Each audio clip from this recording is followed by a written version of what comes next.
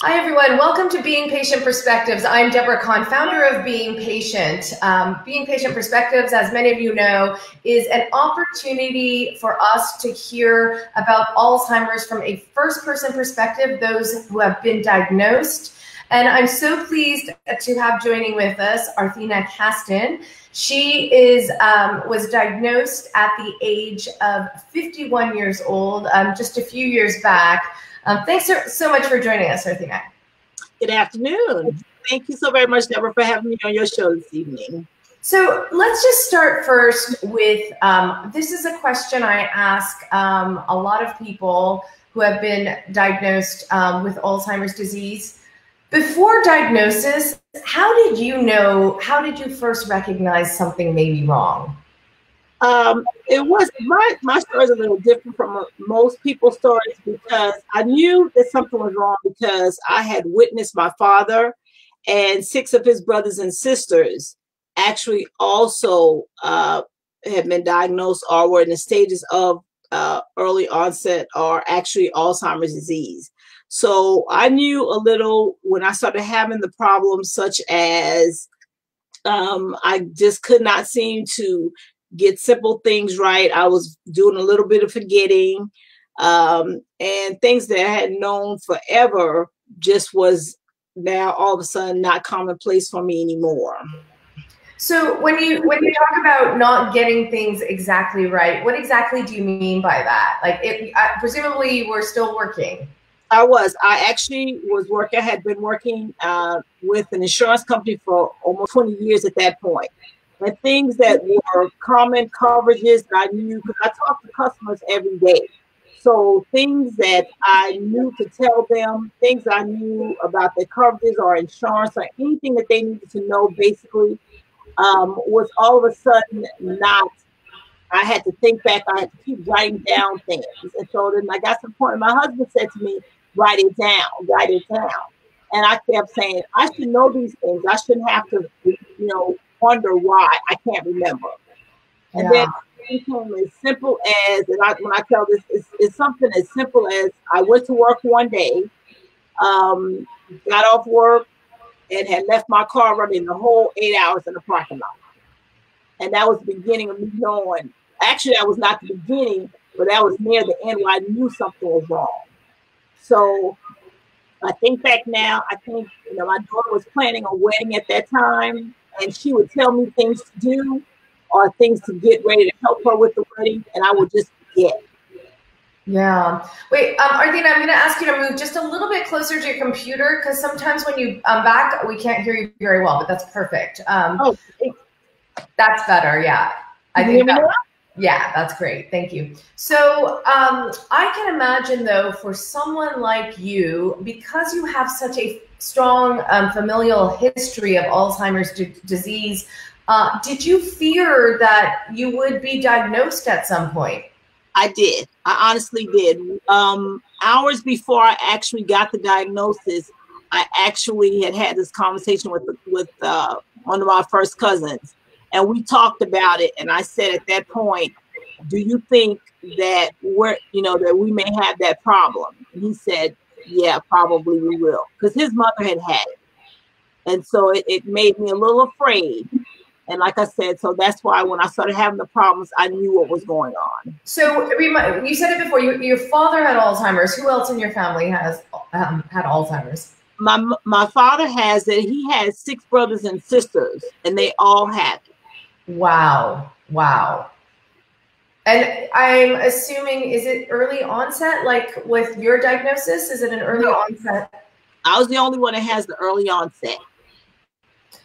Did you, um, and you know, I, I asked this question, um, I'm, you know, if you, if you don't want to answer it, it's absolutely fine, but I'm curious, did you know your genetic status? Do you know if you have a genetic link to Alzheimer's disease?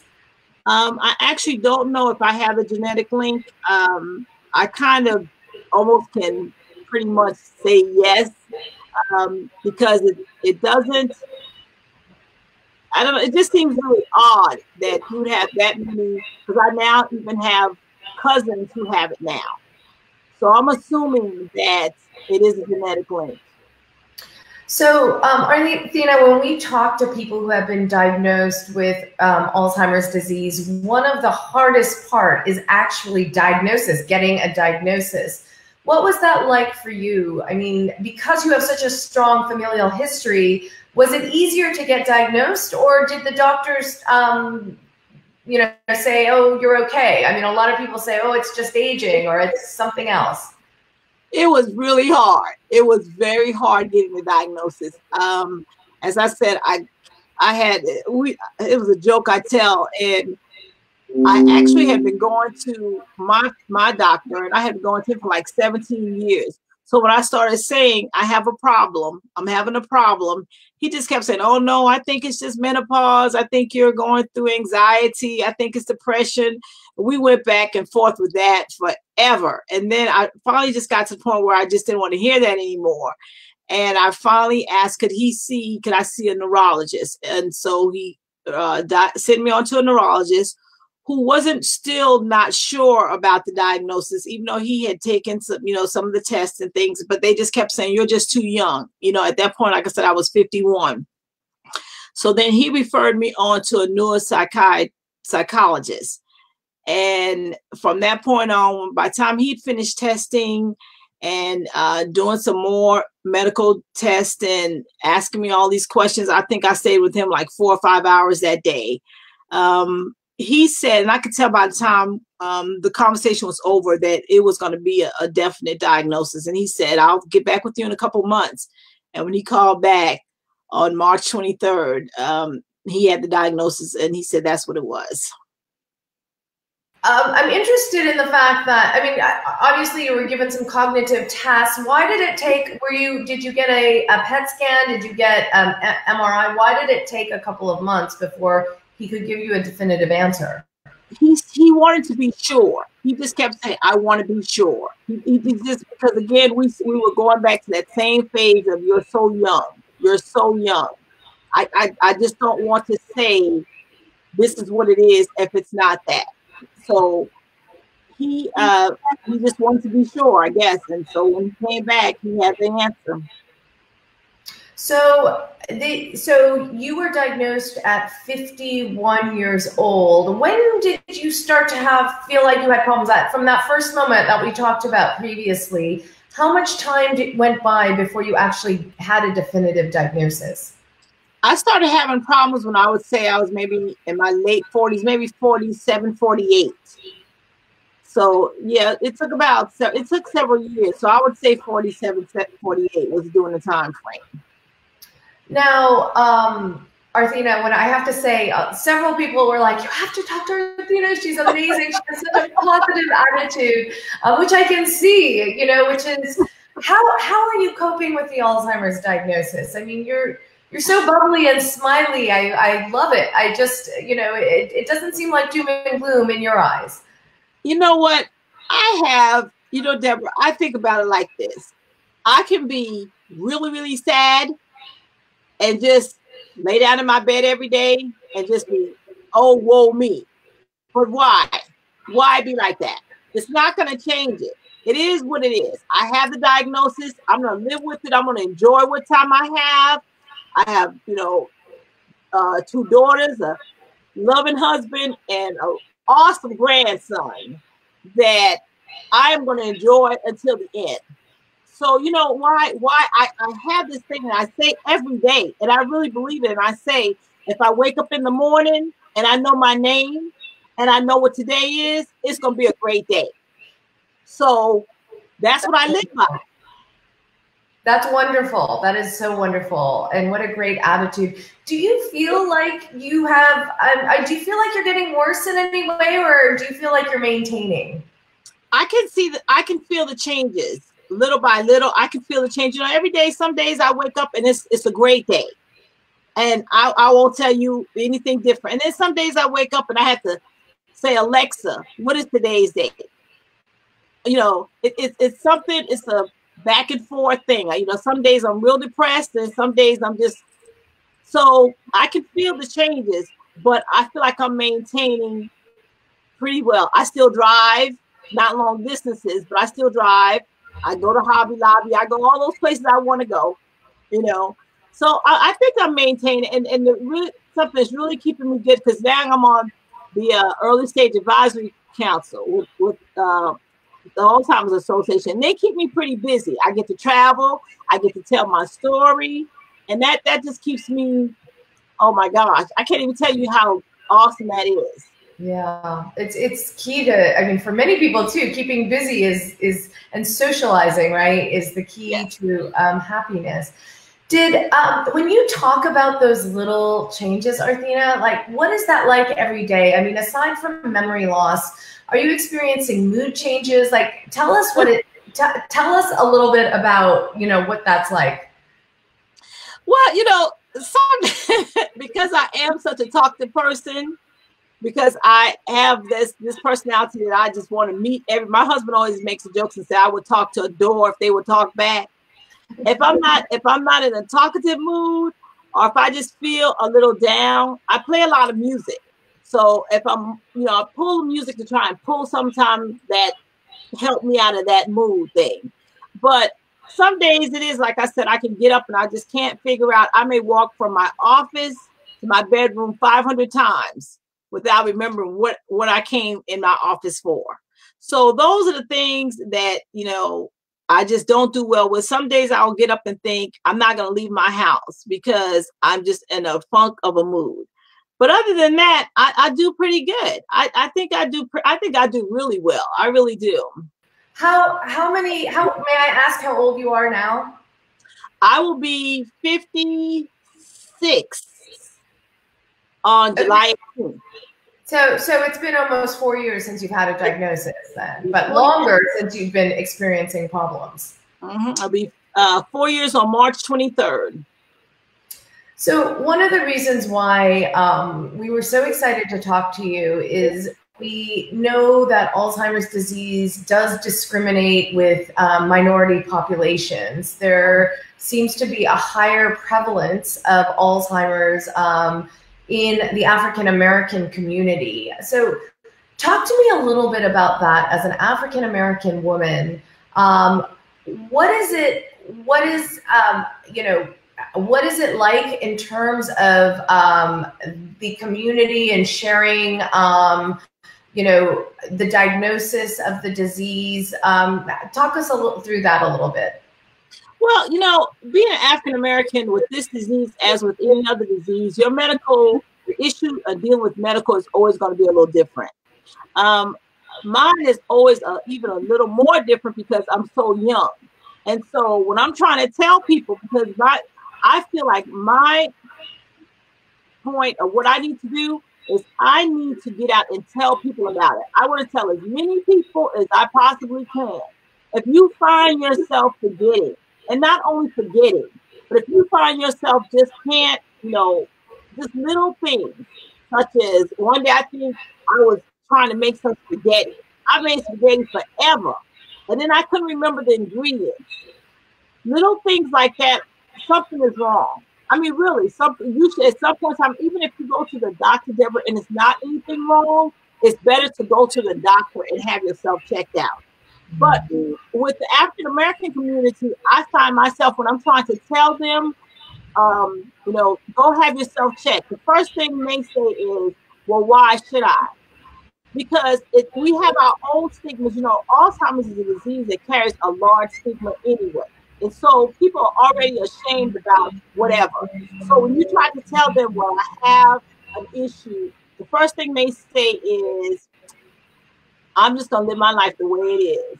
Or they'll tell you something like, you know, we have this thing in our community, and it's always been like this. What is done in the house stays in the house.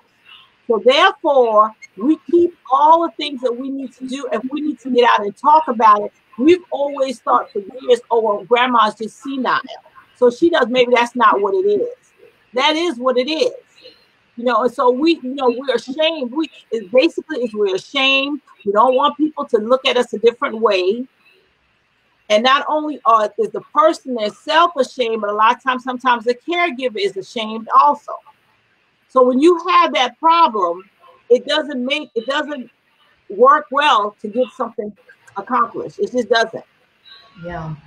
Well, I mean, it's it's similar. I think in a lot of cultures. I'm half Asian, and I certainly know with my Chinese family, um, it's the same. It's you know, if you have illness or something, you you hide it. You don't really talk about it. Um, yes.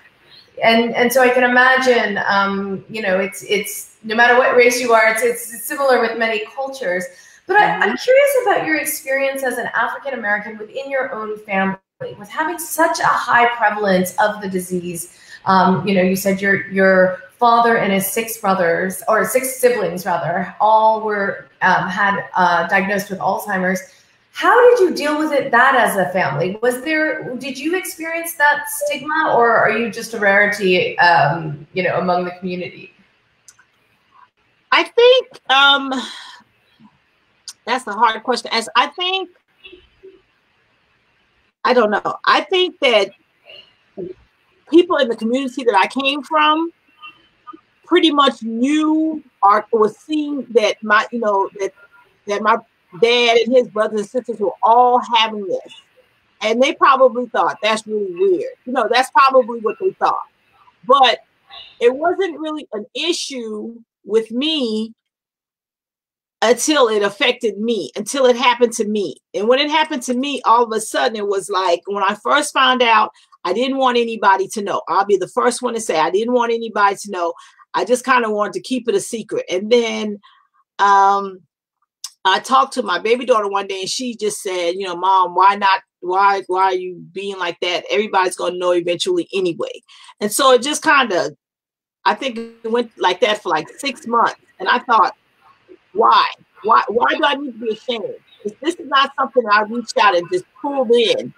It, it, you know, it just came to me. So my family, my you know, I have a mom, a loving mom. I have you know sisters and brothers. They all they all hold me really close. They they check on me every day. They they really are there for me and so it's it's not a problem with my immediate family and you know I, I have great friends so we all we're all handling it really good. I think for a minute there they probably were i can't believe this is happening not to Arthena. But now we know that it is it is happening and so we just have to you know love each other and just do the best we can for it. That's that's what we do Talk to me a little bit about um, the prevalence of Alzheimer's um, in the African American um, community. Do we know why? I mean, you know, you're an advocate now of the the Alzheimer's Association. I know, you know, you're you're obviously not a medical doctor, um, but do we know um, why uh, the reasons behind um, the higher risk factor for African Americans? When I spoke with my doctor about it, um, he said that he thought that we had it because of a lot. A lot has to do with the foods that we eat or the, the our diet. Diet had a lot to do with it, and he also said he thought that a lot of it was because we're not, we don't um, take a second to to do exercising and and things like that. You know, you can never, you can't just put because if we knew if we knew, Deborah, the answer to that question, we would be rich. All of us would be rich. so I don't I don't know why it, it, affects us, but I know the reason why a lot of it is going on and continues with us is because again, when it happens to us, we, you know, we don't take the time. Oh, maybe most of us do, but we don't take the time to jump into the situation right then and start trying to see what we can do for ourselves. Yeah. I think. I think. That may not be true, but I think. Because we're all people like you that's like that. And I try to stay there like, well, if it happens to me, uh, that's just it. And I'm thinking, okay. And and you know, I, I think it's wonderful that the African American community has a spokesperson like you because it is so critical to get more African Americans into um, clinical trials, into research, so scientists can really determine um, what the risk factor is. Uh, you know, in order. Have you participated in these trials, Arthena? I'm scheduled for a trial. Um, the reason why they did not actually let me do a trial yet is because I also have epilepsy. And so many of the trials that they wanted to try or wanted me to try for, they, they needed me to stop taking my epilepsy medicine. And I can't, I can't, even though I haven't had a, a um, an epileptic seizure in years, I still don't want to take that chance for this. You know, it's it's just it's like a yeah balancing. Yeah. yeah a bad situation either way. But I did get called for a trial where I won't have to take my medicine, and I think I'll be going to see them in Atlanta um, in three weeks. So I'm looking forward to that. Yeah. And I mean, they do call Alzheimer's diabetes type 3. Does diabetes run in your family? No. Not at all. My mom, I think my mom has like, she doesn't have, uh, diabetes, uh, was it number two? She doesn't have that one where she has to take a, uh, insulin. Uh, insulin, nothing like that. My father did not have diabetes until he actually went to the nursing home doing the last part and they because he was just laying there still i don't know what they call they what, why that happens but he started to have started being diabetic. But other than that we don't have a strong case of diabetes in my family no. So tell us a little bit about what's the message that you hope to get out there um, now that you are a representative of the alzheimer's um, association and tell us what what the message is and what you've learned um, so far on this journey this journey has taught me, Deborah, to be a strong person. To be strong, I have to not only be strong for myself, but I also sometimes feel like I need to be strong for my family and let them know my husband is is my my backbone. He is there for me every single day. So he's strong for me. I just realized that we have to be strong because when that time does come, and we all know that that time is going to come. When that time does come, we want to be able to just embrace it and say, this is what happens. I want, you know, I not only reach and not only trying to reach out to to the African American community, I'm trying to reach out to everybody and say, you know what? If this happens to you, please, you know, get up and say, you know what? I can do this. I can do this. Because if you have that positive attitude, I am so convinced with all the people that I know who have uh, the, the early onset, because they have such strong personalities, because they're willing to move and be busy, that you would never know them. If you saw them in the street, you would never say, "Oh, that person has Alzheimer's."